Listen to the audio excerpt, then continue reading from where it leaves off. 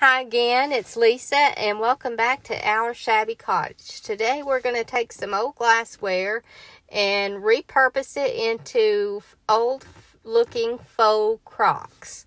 Um, now, uh, I've had this piece in my store for, for quite a while, and it doesn't seem to be moving. Uh, so uh, I thought that I would turn it into a faux crock. Um, when I look at this piece, I, I kind of think of crock anyway because it's got the handle and it's a thicker glass. So I think it'll be really easy to make it look like a crock. Uh, now I'm going to start with some Waverly chalk paint in the color Mineral. Um, I'm obviously not sponsored by Waverly, but I do like this Mineral chalk paint. It, it has the look of crocks. Um, it's just a really good color to to make an item look like a crock. Now I'm going to put a coat on this, um, and uh, it's going to take at least a couple of coats to uh, to cover it well. Uh, some people add a little bit of uh, baking soda to give it some sort of a texture, but but I really don't think it needs it for this crock. So I'm just using straight chalk paint. So um, and another item I want to use is something that almost looks like a crock already, but somebody has painted it and uh, didn't do a very good job on it. So I'm just going to go ahead and give that a couple of coats of the Waverly Mineral Chalk Paint as well. And uh, this one is covering a little bit better because it's already got some paint on it. Uh, but just give it a good coat. Now I do put a coat over that top and there is a lip inside that just goes down maybe an inch or two and I, I'm just getting that so that just when you look at the top it it looks like it's it's um, that color on the inside. I don't like to paint inside these because uh, if I decide to put some water in it and put some flowers or something, it, it's still usable. So I'll go back on this. I won't make you watch that, but I'm going to put another coat on each of these when they dry. And I will go back and, and paint the bottom of this one because they had painted the bottom in, in the color that was on the outside. So just to make it look better. Now this is an olive oil bottle. Um, and I chose it because uh, I don't know if you've seen the little crock uh, bottles. Um, and I felt like this one kind of had that look. If I were to paint it, it, it would it would look good. Uh, you could do a wine bottle if you wanted. Uh, I just felt like this particular bottle would, would look good displayed with with the others. And obviously, on all these pieces, I did give them a, a little bit of a cleaning with some alcohol. I just put a little alcohol in a spray bottle and spray it on them and wipe it off. Uh, so, in, in here, I'm just giving this a, a first coat as well. Now, when these dry, as I said before, I do go back and put another coat on them, and uh, and then they'll be ready for the next step. So these have dried, and and uh, see, it looks a lot like a crock already. Uh, but we're going to use uh, the IOD stamps in the crockery stamps. These stamps are wonderful. They they work really well to make an item look like a crock. Um, now this one is going to be a little tricky because of the shape. Um, because I don't I don't know if you've used these stamps before, but you don't want them to move. Uh, so what I'm going to do is is a lot of times you may have to um, you may have to put this stamp on a paper and then decoupage that on but obviously I, I don't want that look here. I want these to look like actual crocks so I'm just going to have to try to do my best to, to get this placed right.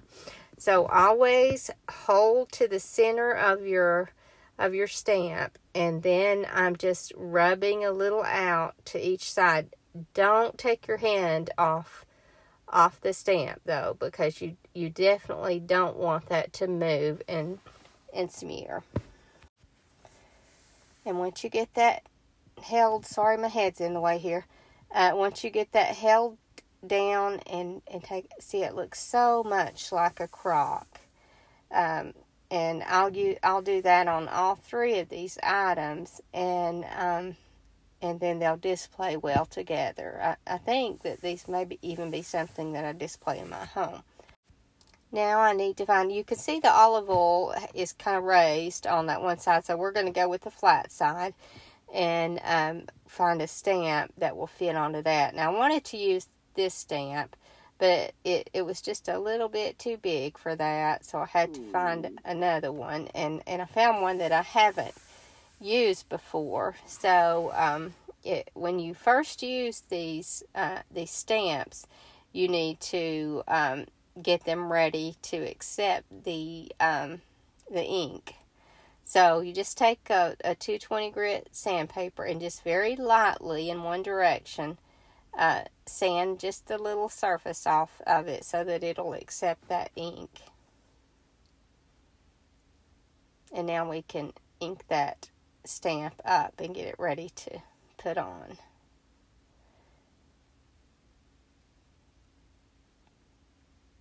Now, if you haven't used these stamps before, they're really fun. There's so many things you can do with these IOD stamps. Um, I'm I'm pretty new to them myself. I've used the stamps a lot, but uh, these crockery stamps are really hard to find and uh, I haven't had my crockery stamps long, but I'm loving them. Now you could use this technique just on a regular jar uh, if you wanted.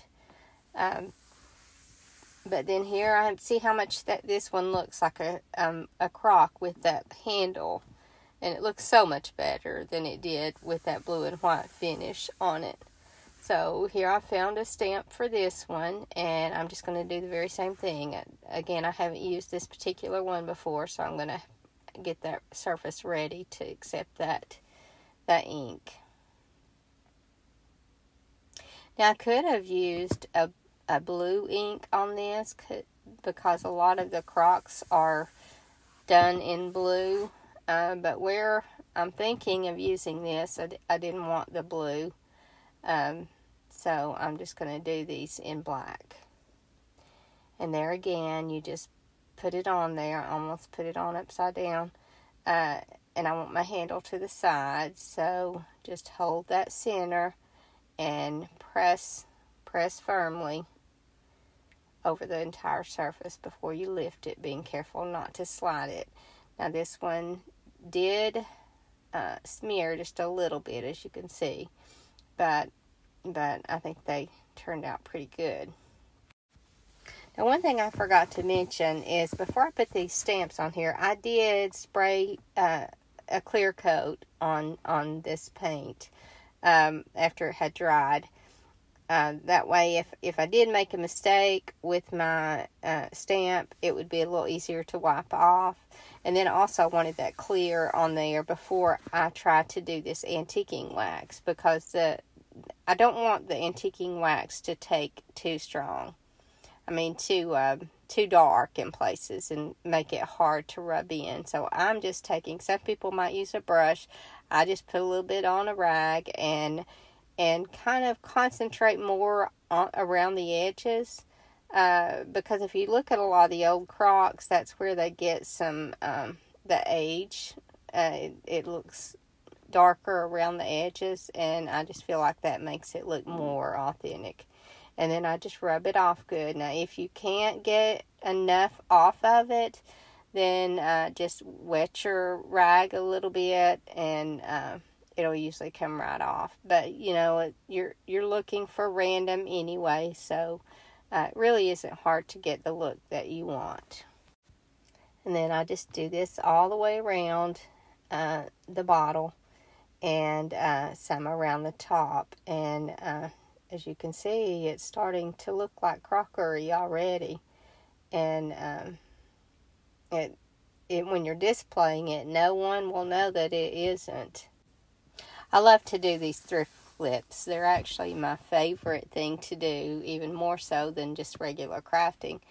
Uh, I love doing all of it, but this is just my favorite. And I love to go thrifting and find other people's unwanted junk and make it look really pretty. So I did that on that one. And each of these items I'll do the exact same thing on. I'll just uh, concentrate that antiquing wax around the edges and um, and wipe it off good. I hope you guys are enjoying these videos. I'm really enjoying doing them and um, and I hope that if you haven't already subscribed to my channel that you will and I hope that you'll share and comment and like all those things help my channel to grow. And I really appreciate all of you who have. And again, as I say before, if you have any um, any ideas on how I can make my channel better, please feel free to drop me a comment. Crocks are so pretty to decorate with, and they go in in farmhouse style, cottage style, or uh, rustic, uh, primitive style. Uh, and and it's just so easy to um, to create this look. And they display well with a lot of other items also. Um, but here I am just wiping this this off and and if I can't get it enough of it off then I just have to dip my rag in a little bit of water and to thin it down. A lot of people when they use this antiquing wax will mix a little water with it and thin it down but but I didn't here I just went straight antiquing wax and as you can see it's it's uh, it's wiping off pretty good. Now when you concentrate that that brown just around the edges like that, that gives it a, a natural, um, a natural aged look. And that's really all there is to it. Um, just those little easy steps and you have what looks like a crock. Um, I hope you guys have enjoyed these videos. I hope you enjoyed today's video and and I really hope that you'll join me on my next one. If you haven't hit the notification button that will let you know when I upload a new video, please do. Thank you for watching and I hope to see you in the next video. Have a good evening.